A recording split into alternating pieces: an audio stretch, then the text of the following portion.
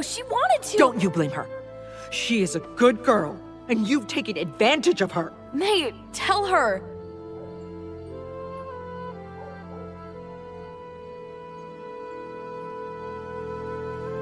What? Dude! Come on, Mei-Mei. Let's go.